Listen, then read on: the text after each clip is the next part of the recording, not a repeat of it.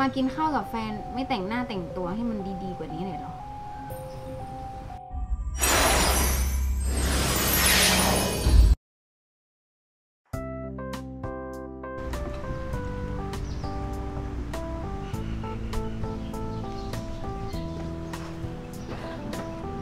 อ้าวก่อน วันนี้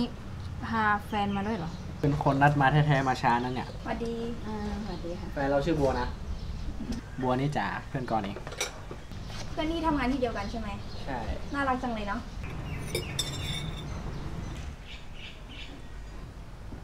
มากินข้าวกับแฟนไม่แต่งหน้าแต่งตัวให้มันดีๆกว่านี้เลยเหรอ ไม่เป็นไรหรอกมากินข้าวแถวบ้านนี้เอง เดี๋ยวก็กลับละหรอ ระวังนะ ก่อนจะไปหาผู้หญิงสวยๆนอกบ้าน เออเราว่ากินข้าวก่อนไหมอะ อาหารจะเย็นหมดแล้ว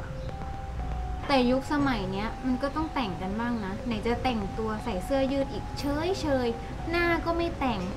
จะทนดูไม่ได้อะ ขัดหูขัดตา เดี๋ยวจะแต่งให้ ไม่เป็นไรค่ะ อะไรของเธอเนี่ย เธอรู้ไหมว่าลิปนี่ราคาเท่าไหร่ บัว จ๋าแกรู้ว่าแกทำอะไรลงไปอะ ทำอะไร ฉันก็หวังดีกับแฟนแกเนี่ย ถึงแม้บัว จะแต่งหน้าไม่เป็นไร้รสนิยมในการแต่งตัว แต่เขาก็ไม่เคยบกพร่องในหน้าที่ของตัวเอง แล้วดูแกดิไม่พูดอะไรแบบนั้นอะ บัวเขาจะรู้สึกยังไง ถ้าเรามีแฟนที่ไร้รสนิยมแบบนั้น แล้วมีเพื่อนที่ดูถูกคนอื่นแบบแกอะเรายอมมีแฟนแบบนั้นดีกว่าเว้ย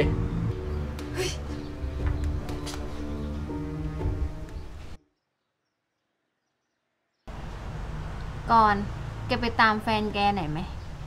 ไม่รู้ว่าอยู่ไหน ไปร้องไห้ขี้มูกโป่งแล้วมั้ง เออ งั้นเดี๋ยวเราไปดูบัวกันก็ได้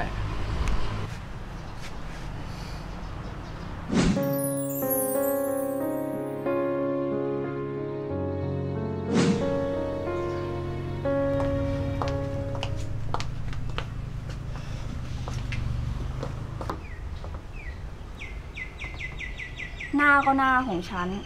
ฉันจะแต่งตัวยังไงอะ่ะมันก็เรื่องของฉัน เอาเวลาที่เธอไปดูถูกคนอื่นอะ่ะดูตัวเองไหม ปัดแก้มขนาดเนี้ยลิงไม่เรียกเข้าป่าก็ดีแค่ไหนแล้วงะส่วนมื้อเนี่ย ไม่เป็นไรนะ เดี๋ยวฉันเลี้ยงเอง พอดีว่าบ้านฉันอยู่หลังร้านเนี่ย ฉันเป็นเจ้าของร้าน ฉันก็เลยขี้เกียจแต่งหน้าแต่งตัวเข้าร้านอะ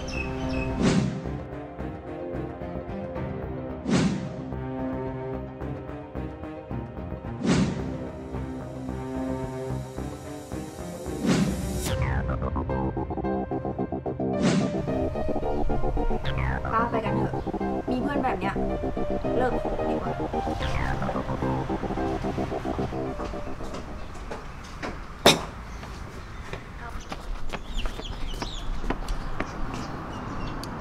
วันนี้เราไม่ได้เอารถมานี่นะ ต้องโบกรถกลับอีกแน่เลย พี่คะ ขอติดรถไปหน่อยได้ไหมคะ ค่ะ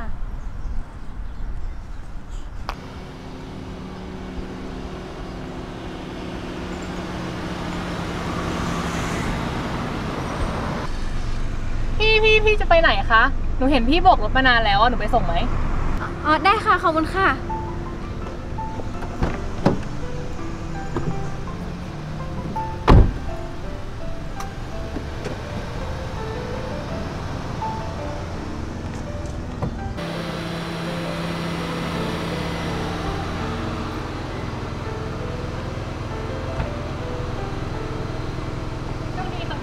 นี่น้ำใจเล็กๆ น้อยๆ ค่ะ อ๋อไม่เป็นไรค่ะ พอดีคุณพวงให้เป็นรายเดือนอยู่แล้วค่ะ